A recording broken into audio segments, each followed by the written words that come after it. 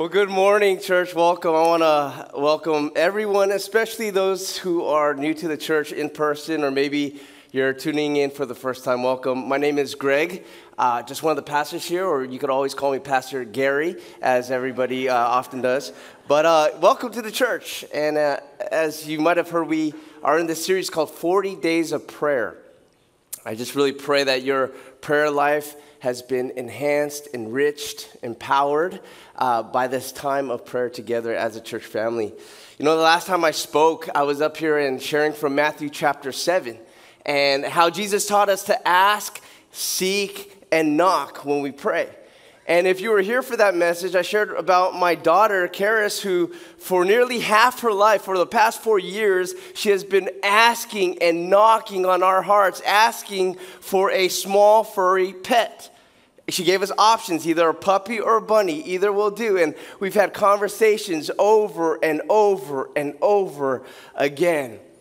And in, in that message, I shared with you how finally, uh, Monica and I decided that we would get her that bunny. Now, since that message a couple weeks ago, I cannot tell you how many conversations, how many texts, how many pictures, how many videos I've had sent from you people in this church who are obviously bunny lovers. I didn't know we had so many bunny lovers in this church. If anybody found my phone, they would think I was a creepy bunny addict, and I am just not. I'm not. But the number one question that everybody's been asking is so, did she get her bunny? Did you get her her bunny? Well, I'm happy to share with you that as of yesterday, yesterday we brought home our little bunny, Cinnabon. Oh, yeah, so cute. That's Cinnabon. Well, I, he, I have to admit, he's pretty darn cute. I almost brought him to church this morning. He's pretty cute, all right? But in that message, I shared about how sometimes God doesn't answer our prayers right away, or He doesn't always answer exactly how we ask. And that's the sovereignty of God because He's good and there's something better He has in store for us. Today, I want to talk about other reasons why God may not answer right away or not at all. So I'm going to call this message Why God Doesn't Answer. Why God Doesn't Answer. And before we uh, pray, before we get into the word, I want us to pray and spend some time in prayer. And as we pray, I want to ask you to intercede, uh, in particular for our friends in Ukraine, our neighbors in Ukraine. We have particular friends, uh, Pastor Igor and his wife Lena, that you guys have met. Uh, they've been here on this stage, and we've heard this past week that there's possibly 300,000 if not possibly 500,000 troops from Russia on the borders ready for an attack and an offensive at any moment now as we near the one year anniversary of when that war started. Okay, so let's spend some time to pause and just pray that God would protect them. All right? So would you join me? Let's bow our heads and come before the Lord.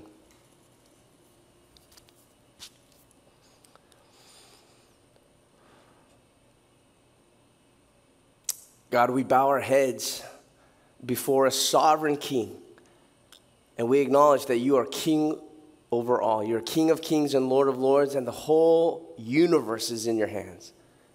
Lord, we know that includes Ukraine. And so, Lord, right now we pray in Jesus' name that you would protect your people there, that you would protect innocent people from, from harm, Lord. I think about the story of Elisha and when the army came up against Elisha and you sent a heavenly host, an angelic army to surround him, a number that was greater than those who surrounded him. And I pray that you would do the same.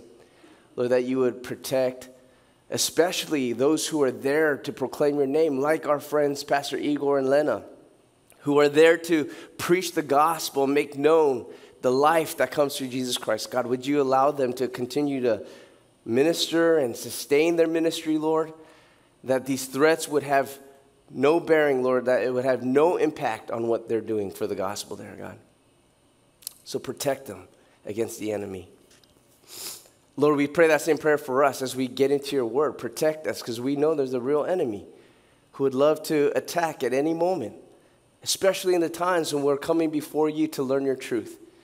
So, God, would you protect our hearts and our minds, physically protect us from distraction, or harm. May we be able to be fully present here to hear from your Spirit. So teach us your word. And we pray this in Jesus' name. We all say, Amen. Amen. So, when it comes to prayer, we always want to open the Bible and search the scriptures to inform uh, the way we pray, to help us to pray in a way that is godly. And I want to encourage you to look to the book of Psalms. The book of Psalms is one of the most beautiful book full of psalms and prayers. And I want to show you one of the most beautiful prayers in the book of Psalms, in my opinion. It's a prayer of David from Psalm 139. So if you have your Bibles, turn to Psalm 139. And I know a lot of you know Psalm 139. You've memorized some parts of it, but, but not a lot of us know this part of the prayer. Here, let, me, let me read it to you. It comes in verses 19 through 22. Such a beautiful prayer, and it goes kind of like this David prays, and he says, Oh, that you would slay the wicked, O God. O men of blood, depart from me. That you would speak against, they speak against you with malicious intent. Your enemies take your name in vain. Do I not hate those who hate you, O Lord? And do I not loathe those who rise up against you? I hate them with complete hatred. I count them my enemies. Hmm, isn't that lovely? That's a lovely prayer, isn't it? It's like, what in the world is that? That's David, the man after God's own heart. The man who, who is a man of God, and yet he prays a prayer like that. How can such words come out of his mouth in a prayer to God? Let me ask you do you think God always answers everything that David asks for? See, here's something David understood himself in Psalm 66. In another psalm, he wrote this. He wrote in verse 18, he says, If I had cherished sin in my heart, the Lord would not have listened. And so he recognizes that there are times and situations in which the Lord will not hear or listen to my prayers, specifically when there is sin in my heart that lingers there. And so, what I want to do is, I want to share with you some explicit scriptures that say there are times when God may not answer our prayers. So the first one is in James chapter 1. If you have your Bibles, open it or turn to your app, James chapter 1. And here's what he says about prayer, verse 6. He says, But let him ask in faith with no doubting. For the one who doubts is like a wave of the sea that is driven and tossed by the wind. For that person must not suppose that he will receive anything from the Lord.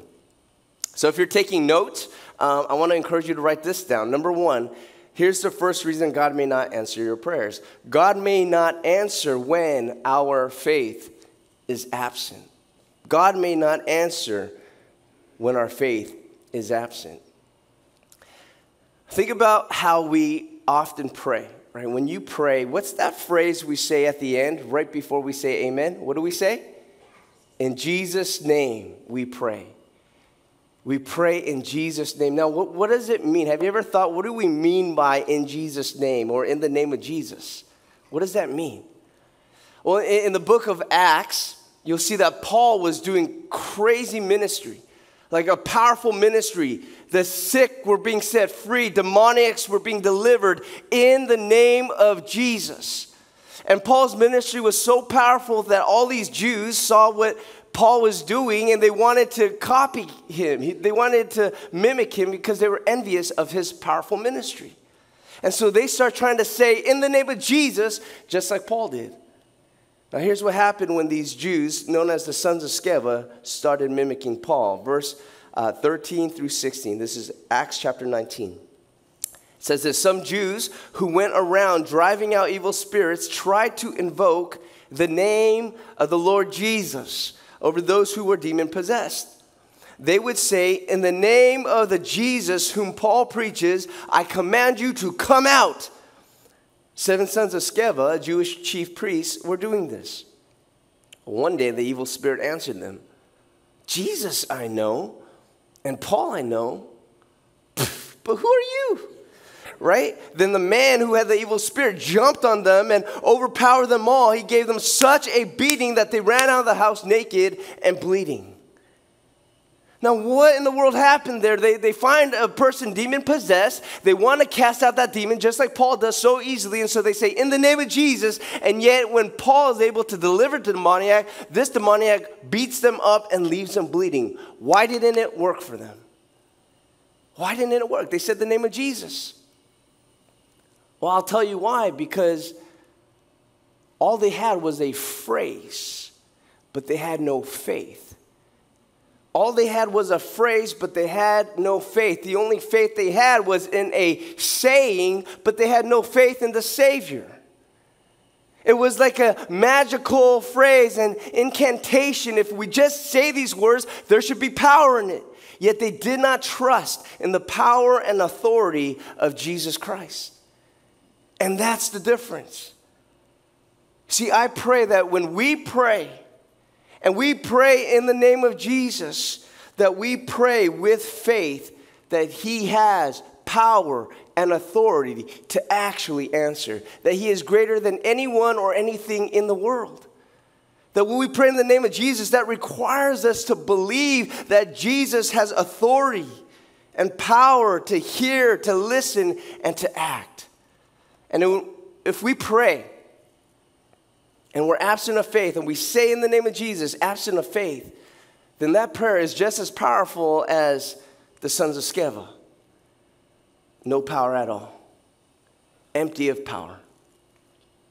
So we pray in the name of Jesus, believing that He has power and authority, power, power enough to move mountains.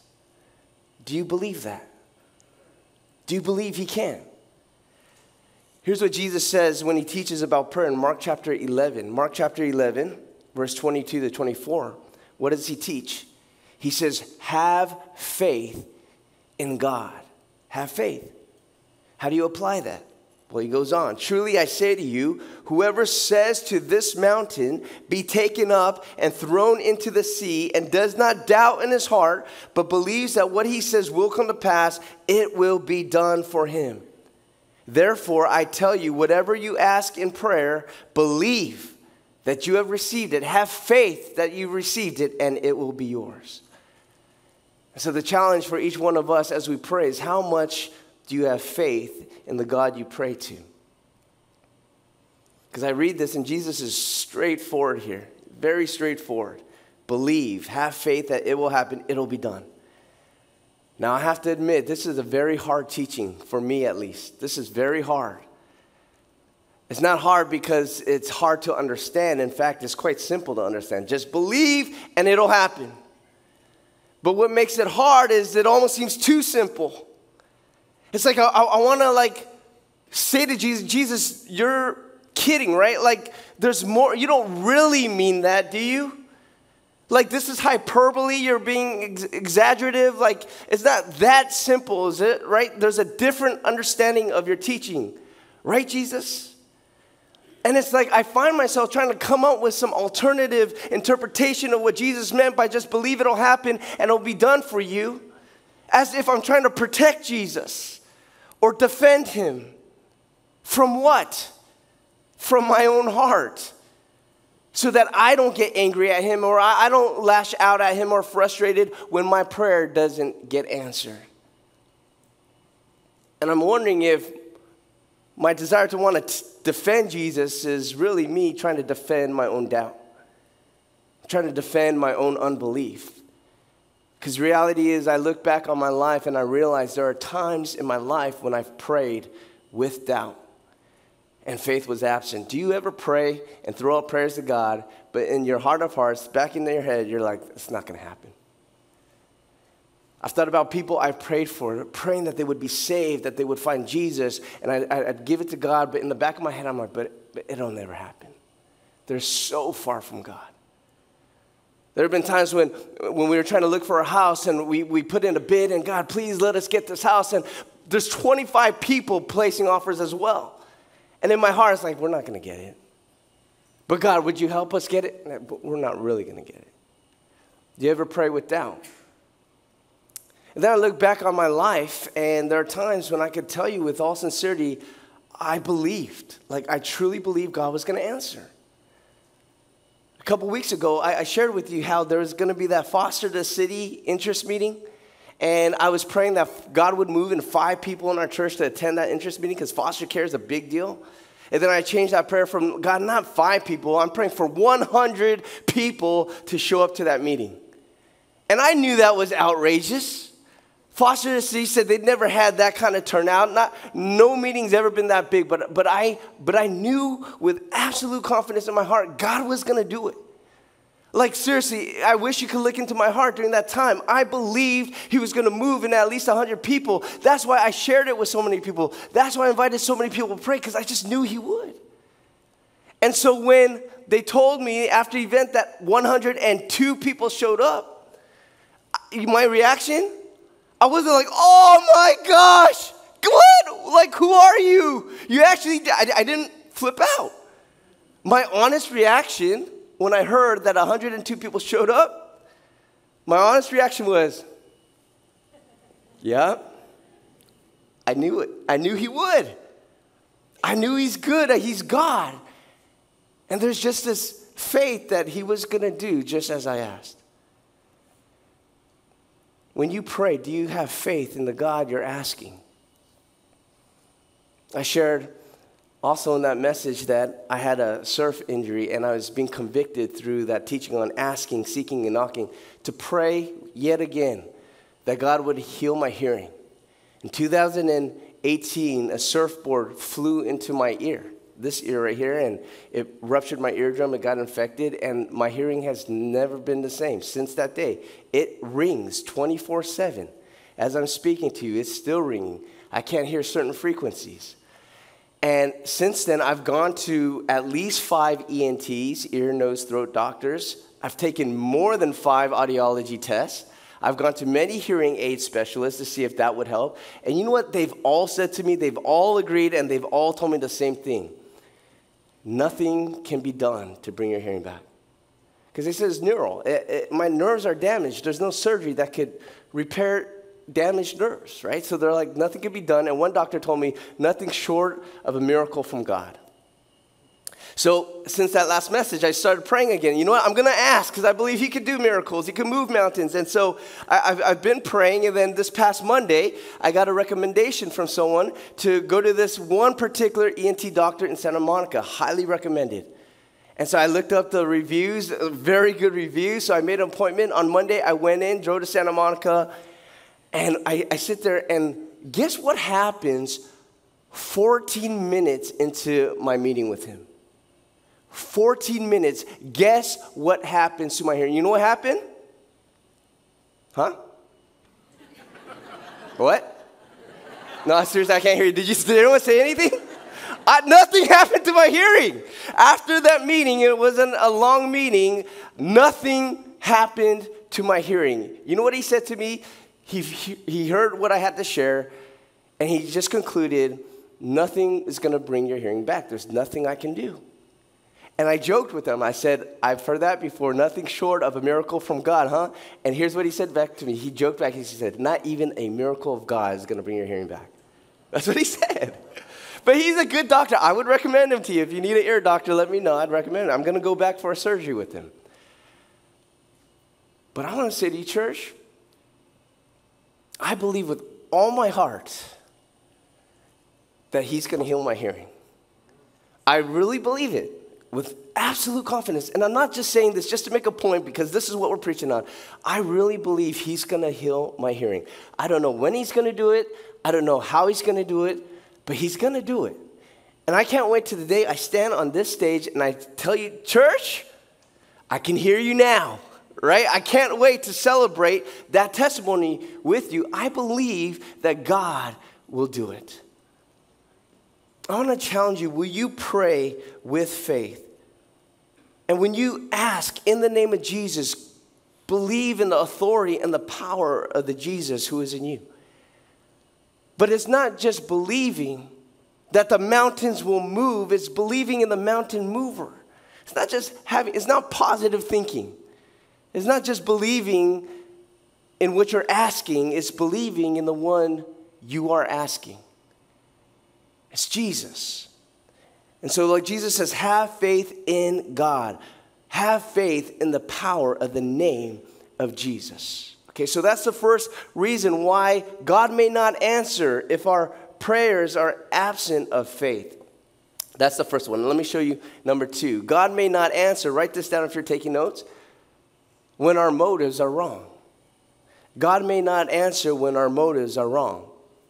See, James, who told us to pray with faith, goes on a few chapters later in James 4. So flip to James chapter 4. And in verse 2, he says this He says, You do not have because you do not ask. Well, the question is, what if I've been asking and I haven't been receiving? Well, I'm glad you asked. He anticipated that. And in verse 3, the next verse, he says, You ask and do not receive. Why? Because you ask with the wrong motives. You ask with the wrong motives so that you may spend what you request on your pleasures. So, so what if I just believe I'm going to pray today for $10 million to fall into my lap today and I believe it's going to happen? I just have confidence. Will it necessarily happen? Well, here's another requirement. What are your motives? Is it for your own pleasure or is it for God's pleasure? Right? We go back to this idea of praying in the name of Jesus that requires faith that he has power and authority, but also understand when we pray in the name of Jesus, what are we doing? We're praying according to his will and his desires. That's what it means to pray in his name. Here's what Jesus says in John chapter 14, verse 13 and 14. He says, When we pray, whatever you ask in my name, this I will do, that the Father may be glorified in the Son. If you ask me anything in my name, I will do it. And in another teaching in First John, he says, Whatever you pray according to my will, the Father will hear and it will be done for you. And so to pray in the name of Jesus is to pray according to his will and his pleasures. So think about it like this if I were an ambassador for my country and I go to another country, I'm an ambassador for my king, I'm going in my king's name and I go to this other country and I say what the king tells me to say and I give the gifts the king gives me to, get, to, to give, what am I doing? I'm representing my king. I'm going in his name. And so everything I say as an ambassador, everything I do, everything I give is as the king would say and as the king is giving. I'm going in his name. I'm simply representing him. And in the same way, when we pray in the name of our King, Jesus, we're praying as He would pray. We're praying according to His will, according to His desires. What does He want? I'm going to pray in His name, praying as Jesus would pray. So, oftentimes when we pray, right, what does it sound like? It sounds a lot like this. It sounds like, please, God, Please, God, please grow my ministry. God, please give me a beautiful spouse.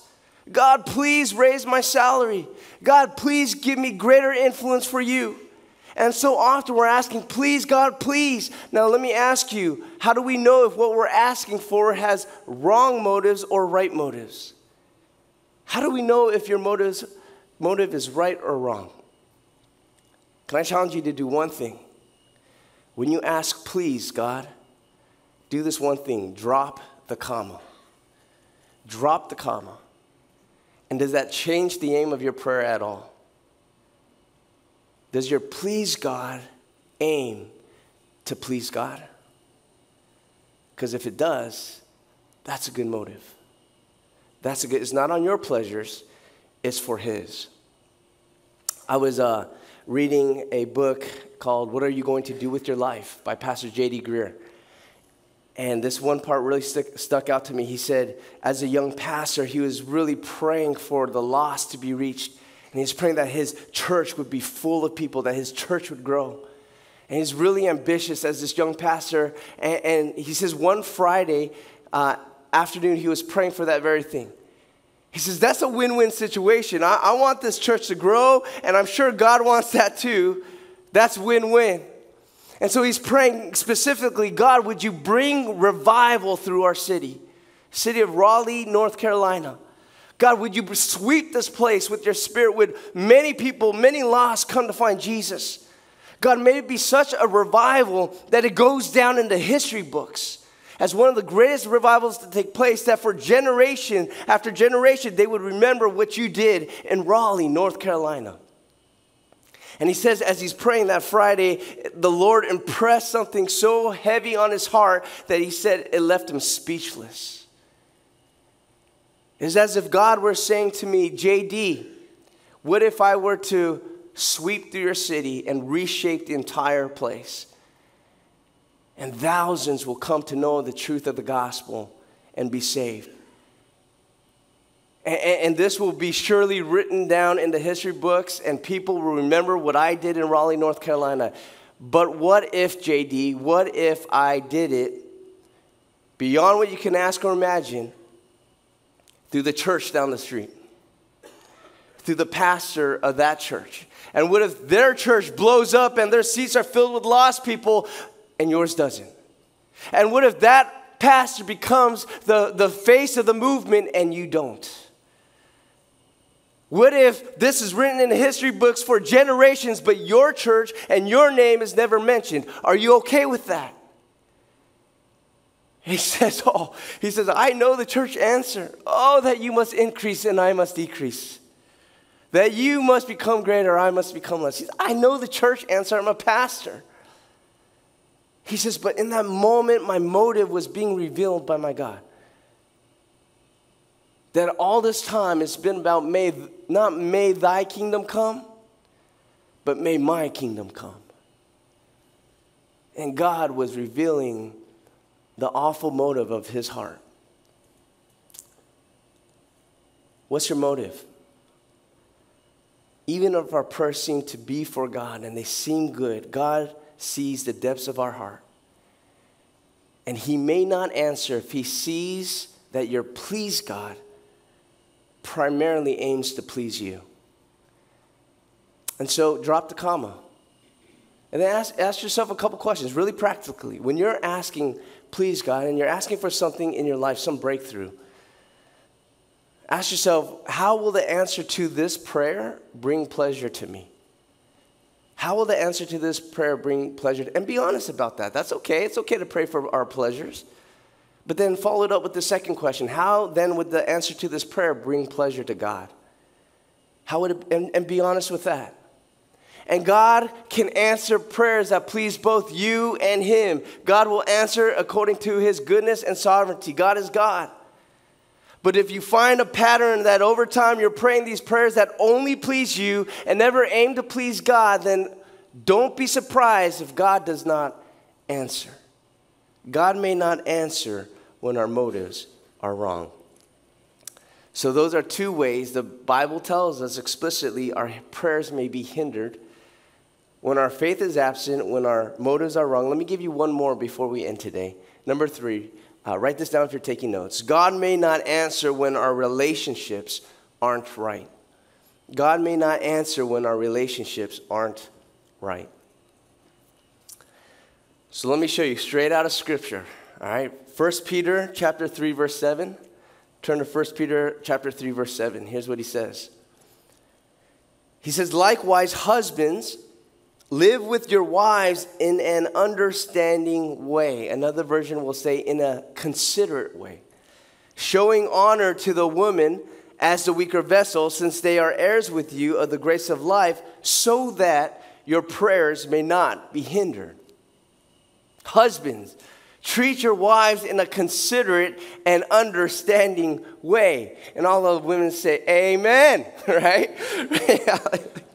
now, before anyone starts to get worked up or riled up, because the Bible, Peter just called the woman the weaker vessel, hold on really quick. Let me just explain to you that Peter is not saying that women are lesser vessels.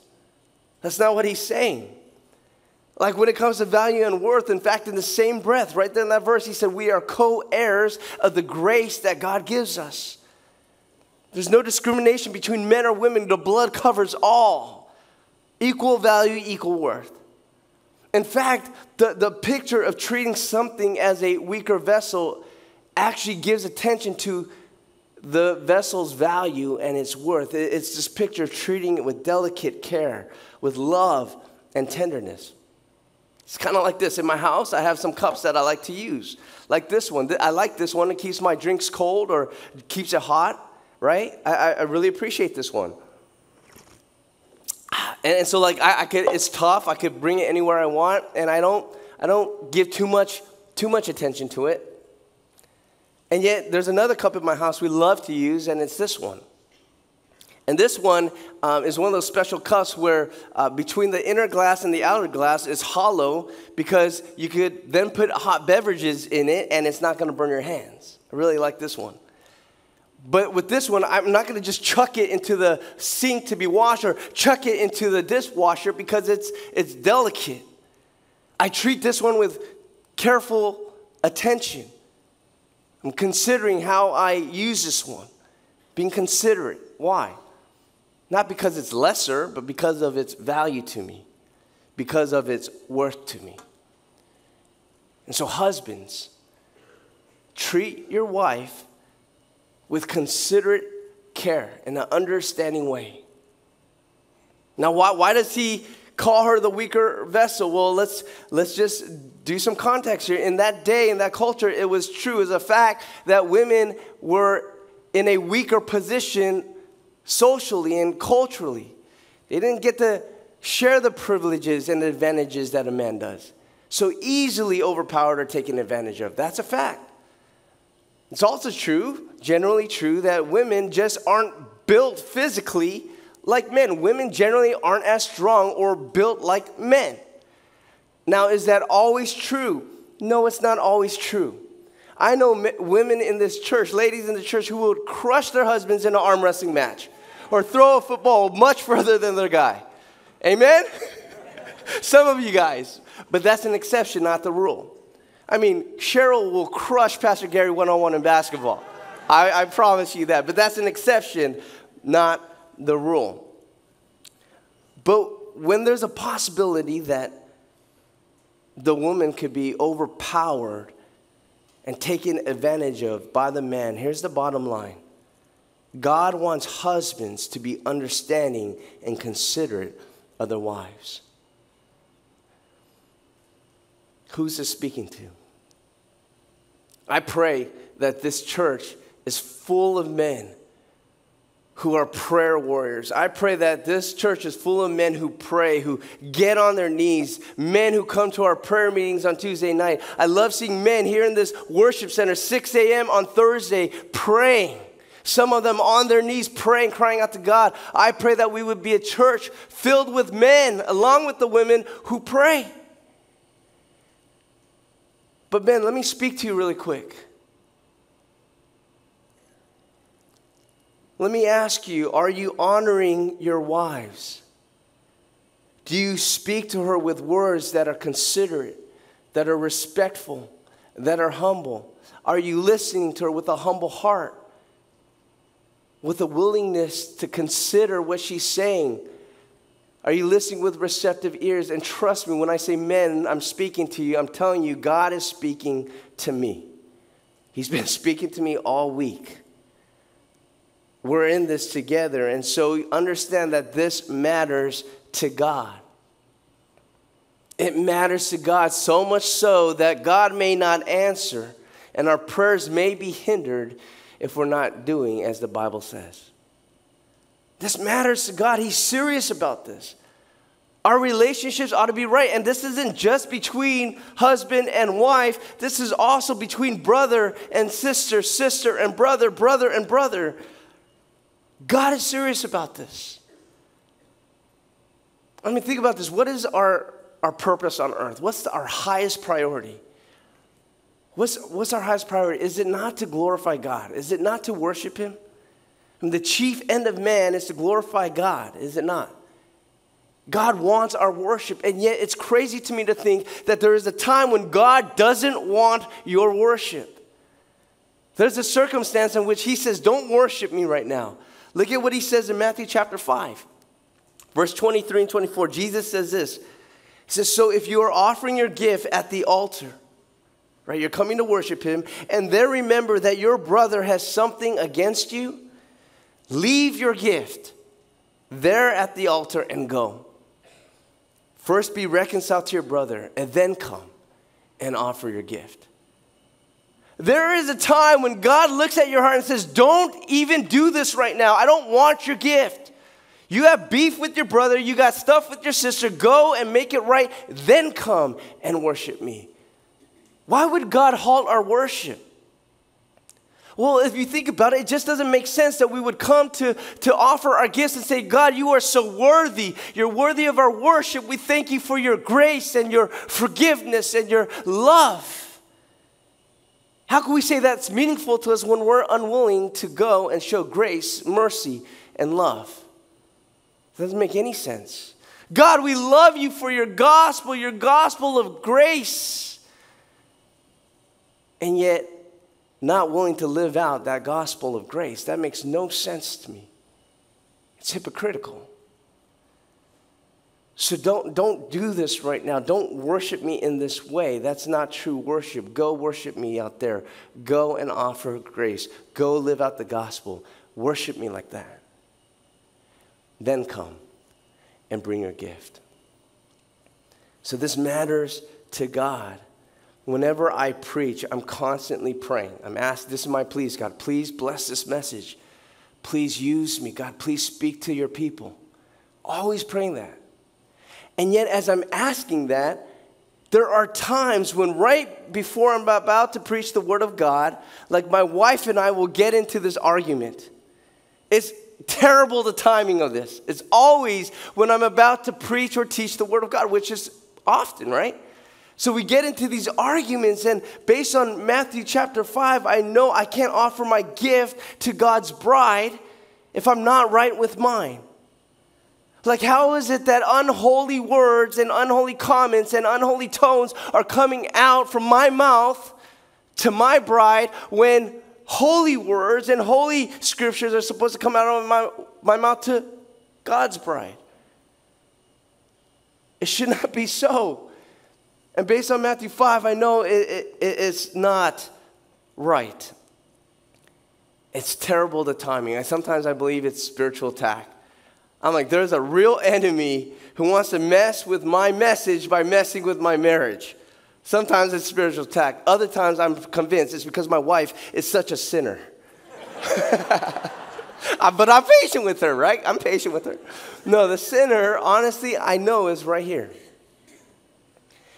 And I know from Matthew chapter 5, if I have unaddressed and unconfessed sins and my relationships are not reconciled, it can hinder my relationship with God, and I should not expect Him to listen. I'm conscious that if my relationships are right, my prayers may be hindered. Therefore, Mark 11 25, he says to us, And when you stand praying, if you hold anything against anyone, forgive them, so that your Father in heaven may forgive you your sins. And when your sins are dealt with and they are addressed and it's not lingering there anymore, then I believe the ears of God are wide open. So, who am I speaking to? Maybe you've been praying for healing for a long time now. Maybe you've been praying for a relationship. Maybe you've been praying for a breakthrough at work or at home. Maybe a breakthrough in school. And it just seems like heaven's been so silent. Why is nothing happening? It's possible that the very thing that's hindering your prayers is relational sin that's standing in the way, and God's graciously getting your attention. Deal with this and make it right. Maybe it's relational sin, maybe it's any, any sin. Is it possible? Is unaddressed sin, I want to make this clear, is unaddressed sin always the reason why God doesn't answer? No. It's not always the, the reason why. It's not always the cause of unanswered prayers. On the flip side, can God answer us even though we're sinning and living in sin? Can He answer those prayers?